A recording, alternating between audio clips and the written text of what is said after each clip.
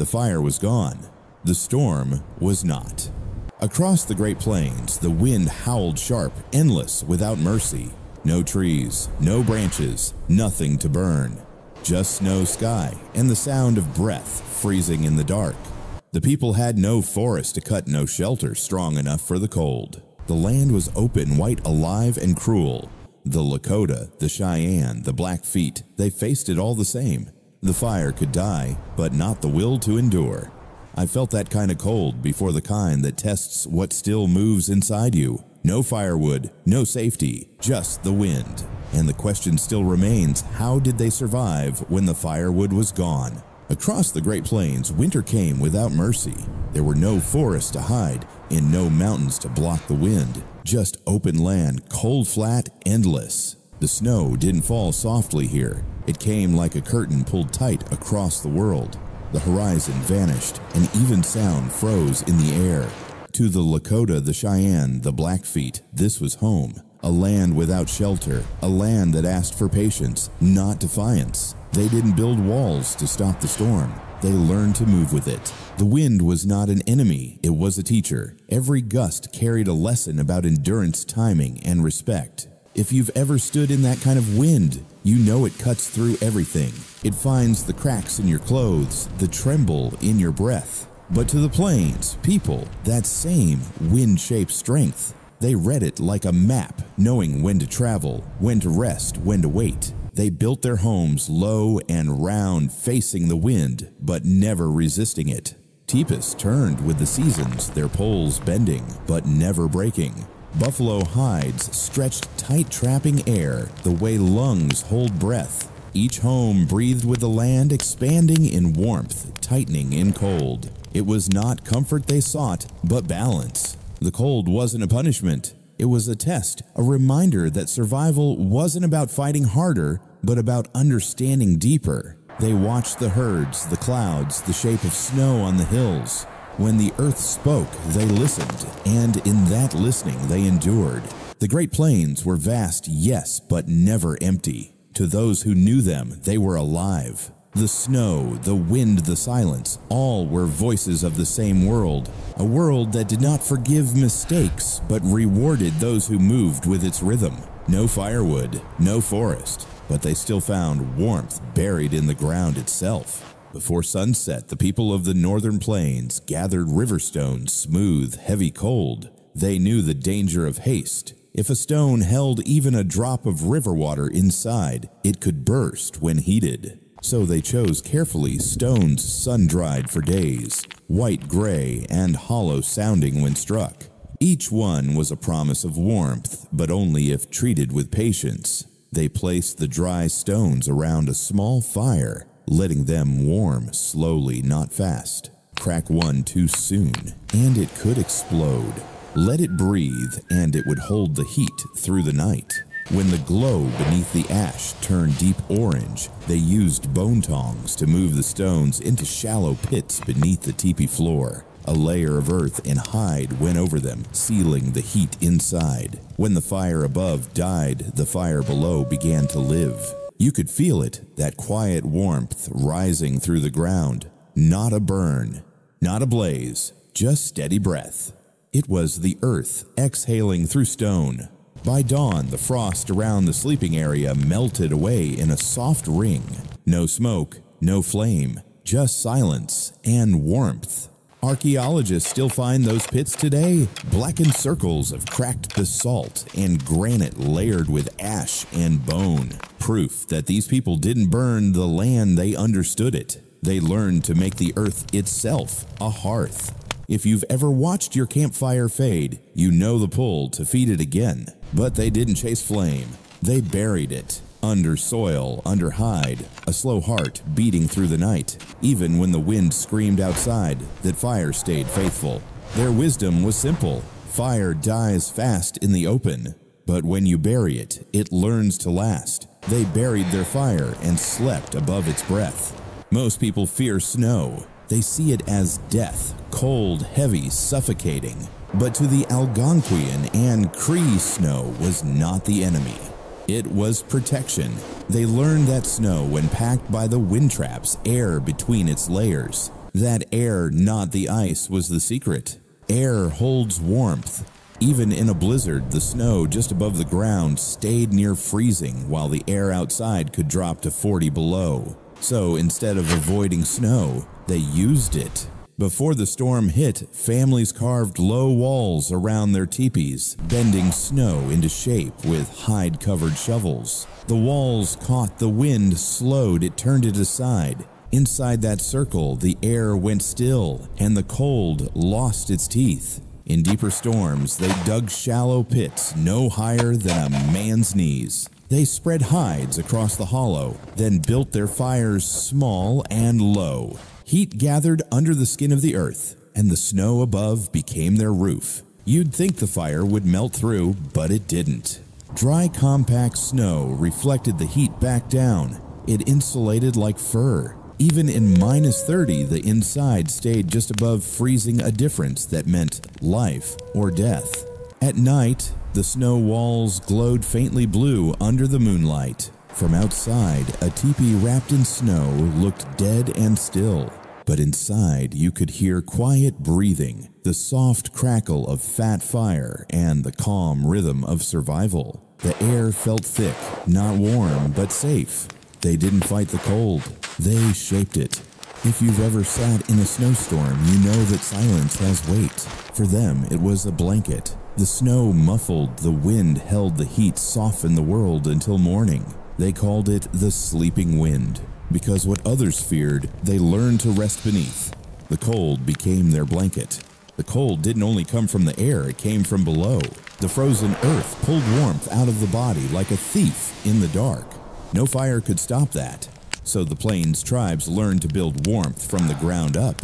They began with reeds, dry, hollow light as bone. Laid flat, they formed the first layer of defense. Above that came buffalo grass, soft but dense, trapping air in its tangle. Then came the hides, thick, heavy breathing with the body. Buffalo hides on top, elk or deer beneath, layered like the skin of the earth itself. Each layer had purpose. The reeds lifted the sleeper above frost. The grass trapped air, slowing the escape of heat. And the hides sealed it all, holding warmth inside like a living shell. It was insulation long before anyone knew the word. Archaeologists later found these layers still pressed into the soil rings of flattened grass, overlapping hides turned to dark leather under time. Proof that they understood thermal balance better than most builders today. No tools, no science, just observation, patience, and repetition. If you've ever slept on frozen ground, you know how quickly it steals from you. The cold creeps through your back, slow and merciless. But lie on layers like these, and you feel something different. The ground doesn't bite, it exhales. It becomes part of your warmth instead of taking it away. At night, when the wind rattled, the teepee family slept close their bodies, pressed against hides warmed by their own breath. The air beneath them stayed trapped, alive and kind. The warmth didn't rise from flame, it rose from what they slept upon.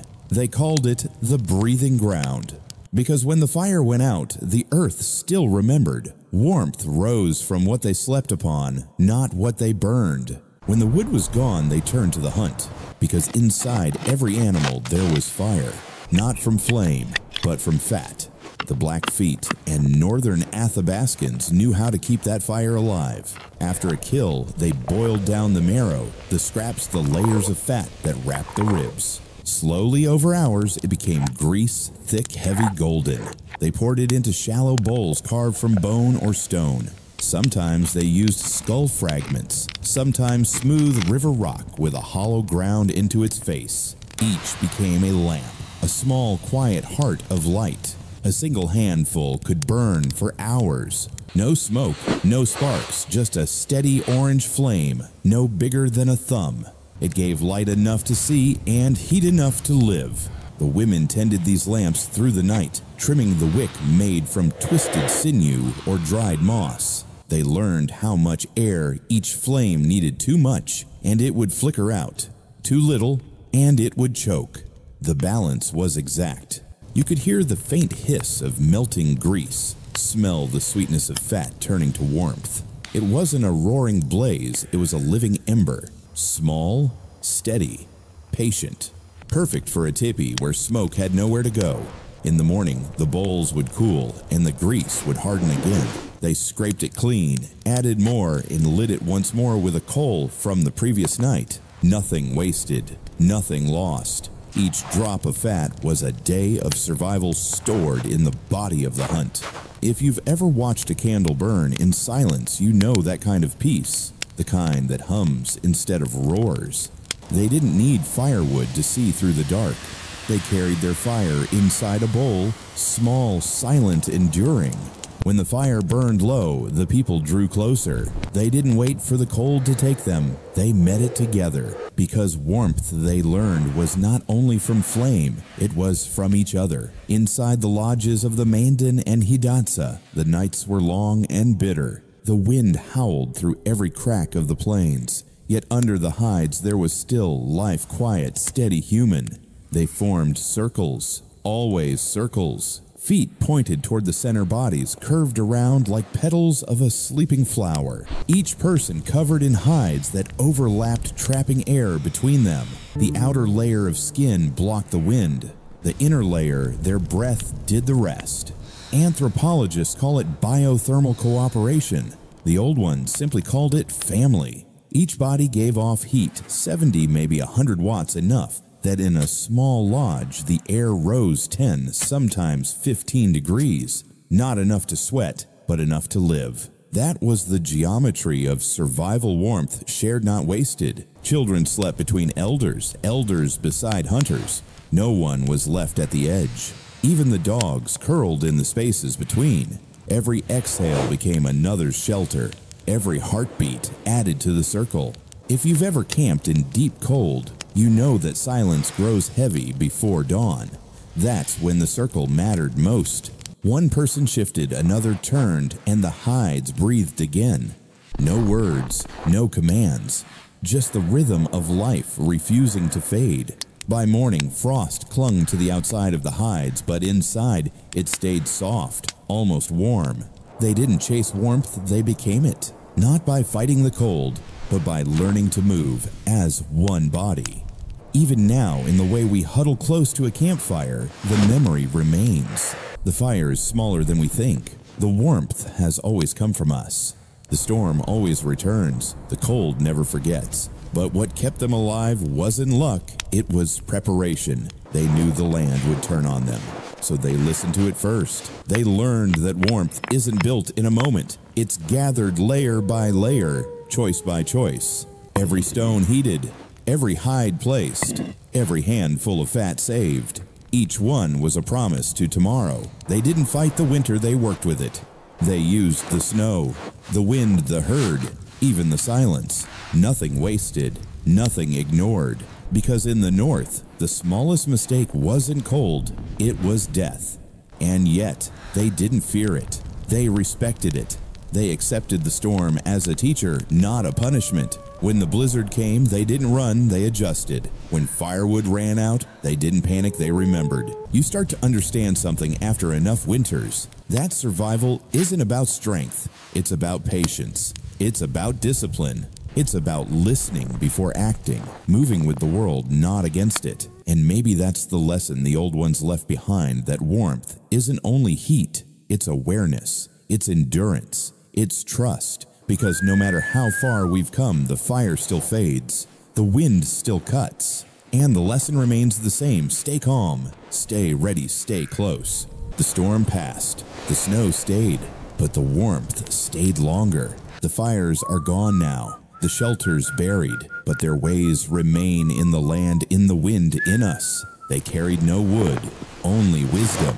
They learned that warmth was not something you lit, it was something you carried. Every stone that held heat, every hide that breathed, every circle that shared. It all meant one thing endurance. And when the last ember faded, they didn't chase it. They sat close. They remembered, because the fire never truly dies. It only moves from flame to memory, from hand to heart. So when your night turns cold, don't run from it. Sit close, listen, and stay by the fire.